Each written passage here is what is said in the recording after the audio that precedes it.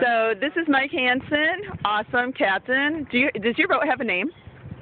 girlfriend? Girlfriend, okay. And Titus is here with his ROV from Sea Grant, awesome.